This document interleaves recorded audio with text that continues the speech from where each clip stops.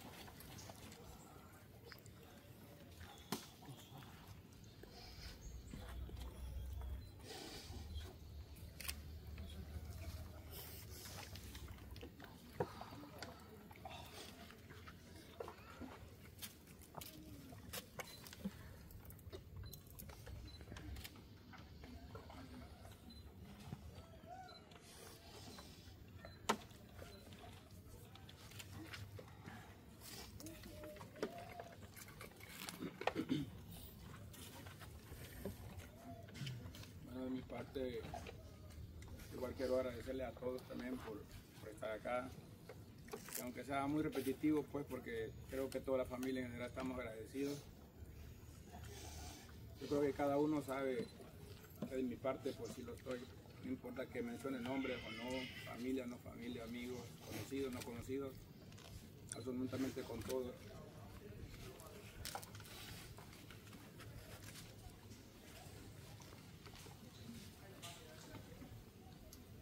Algo que tal vez no, no hemos hablado de mi papá es lo luchador que fue. No hemos dado detalles. Quizás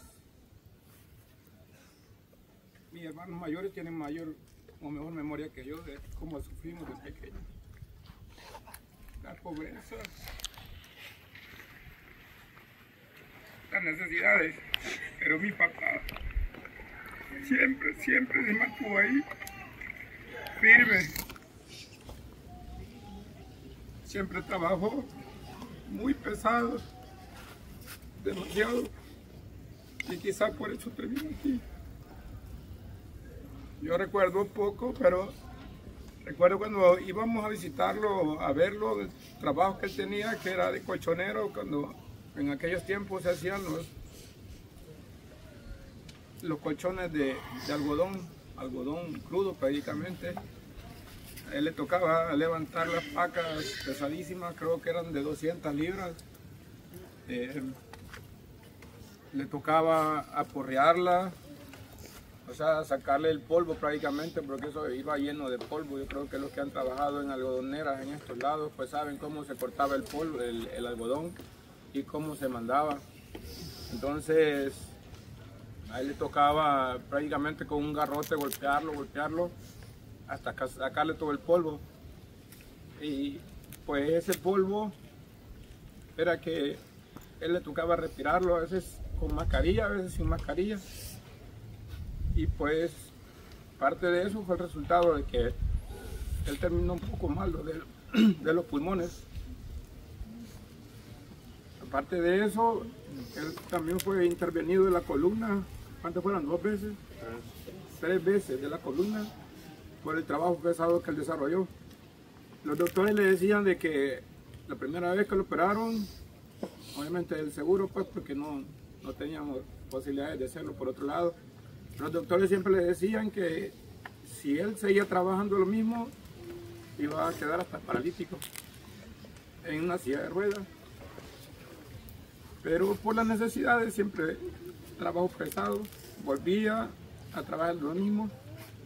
Recuerdo ya cuando tengo un poquito más de memoria que él hasta llegó a trabajar en prácticamente en la, en la calle, así como trabajando de fobial. Nada más de que ahora pues tienen máquinas y más fácil. Antes trabajaban a pura piocha prácticamente y barras rompiendo las calles y pues ahí le, toca, le tocó también a trabajar a él un, un tiempo.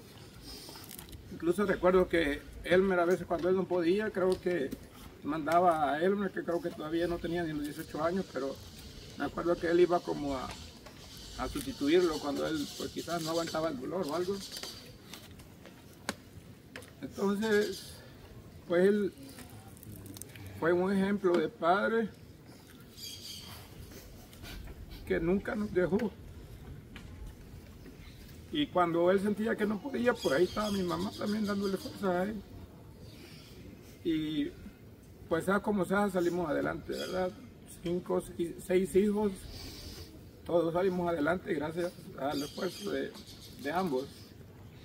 Pero quizás un poquito más de mi papá porque el que echaba el fuero lomo, como decimos, y, él es el que salía a luchar por nosotros.